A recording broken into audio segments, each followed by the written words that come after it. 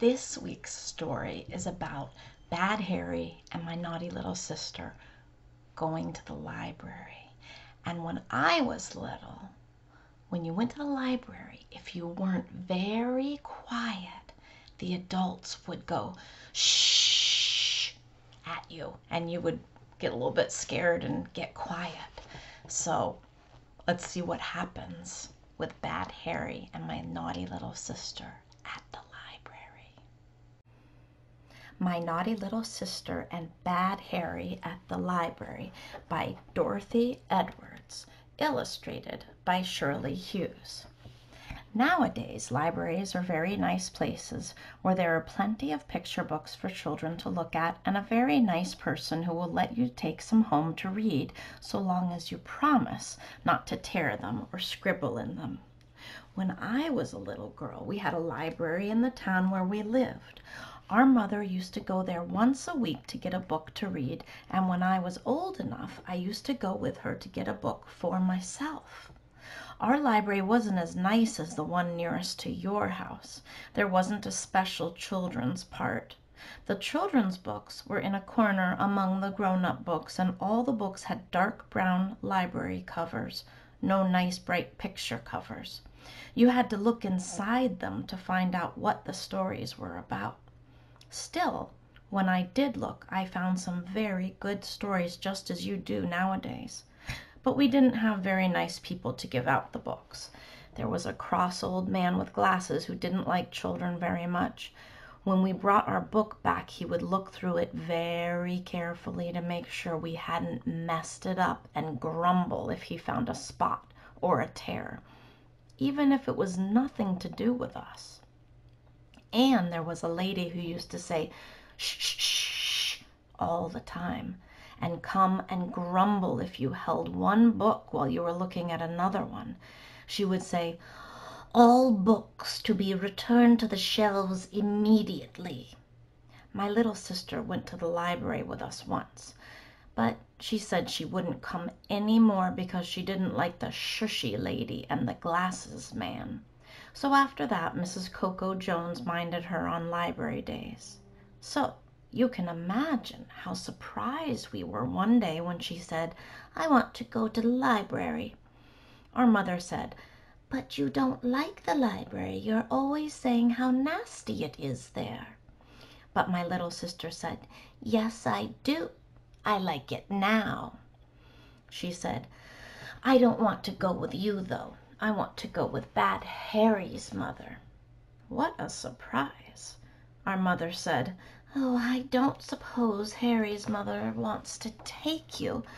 It must be hard enough for her with Harry.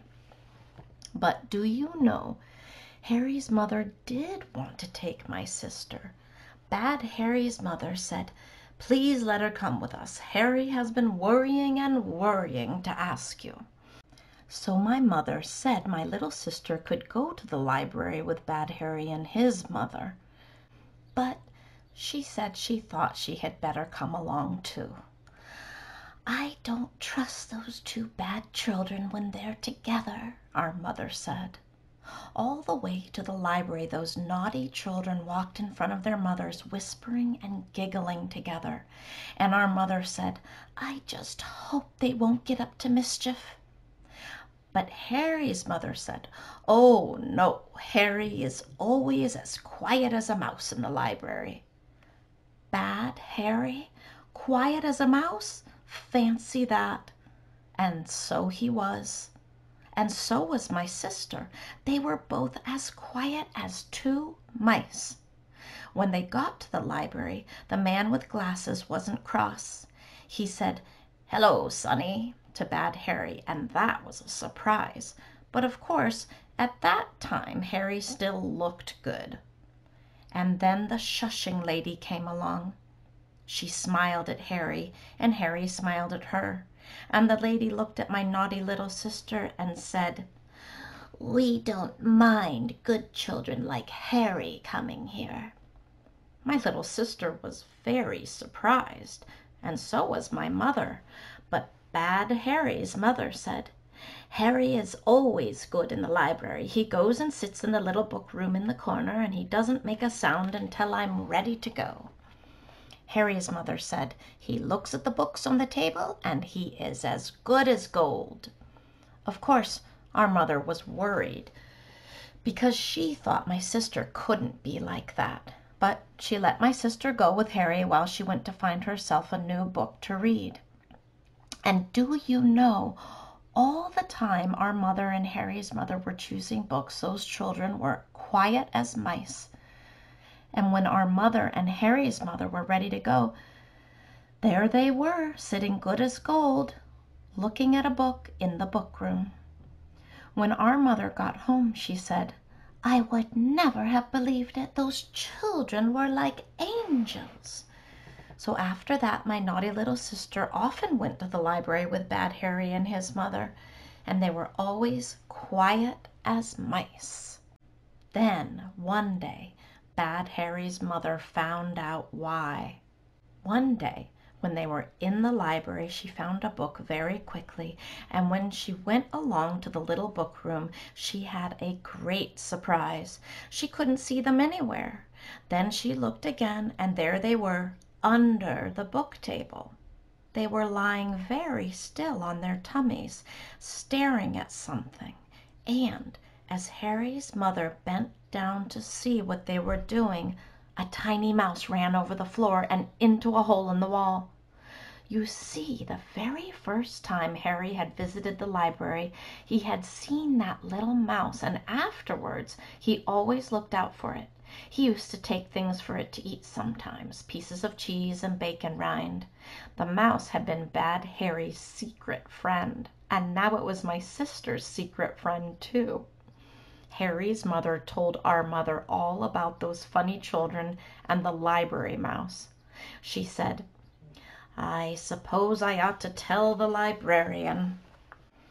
But our mother said, I don't see why.